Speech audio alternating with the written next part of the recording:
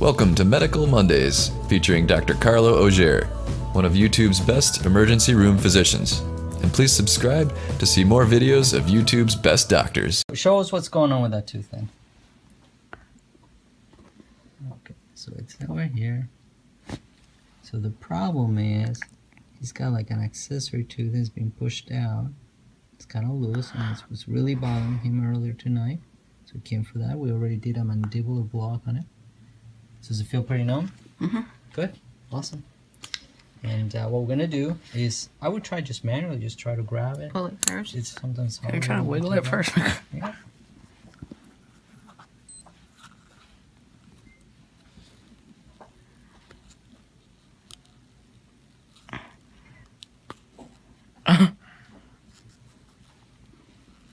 okay.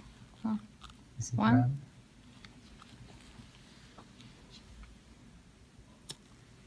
Voila. That's it? Yeah. That's mm. Open easy. up for me. Yeah. That's a whole tooth. Wow.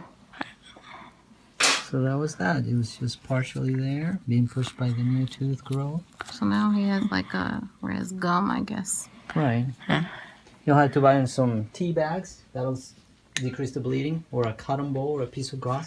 You just buy them. that. Yeah, we have tea bags. So You want just this? wet it. Just Yeah. Because my because I'm really into computers, and my dad said if I brought him a be- uh, with a tooth in it, because he told me to pull it out, he said he'd buy me RAM. So More RAM. computer. Wow. that's RAM right there. And that's, Let me see, babe.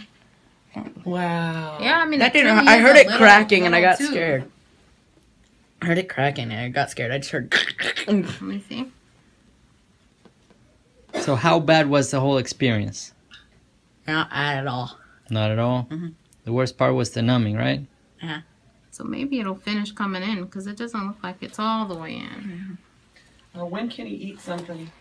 As long as it's soft diet, Well, right now, When it- it's like a tooth that came out. You know, you can still eat. The It's just gonna numbing? be sore. Tooth. Well, right. As long as it's soft, you don't want to eat crap. You know.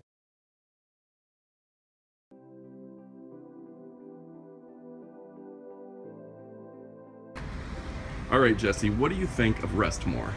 Restmore, I was a little kind of skeptic in the beginning, but I've been taking it for about a month now. Uh, definitely fall asleep uh, really easy, but the cool thing is I wake up refreshed, don't feel groggy in the mornings, I'm able to work out, run like I normally do, but I stay sound asleep uh, for a good eight hours every night.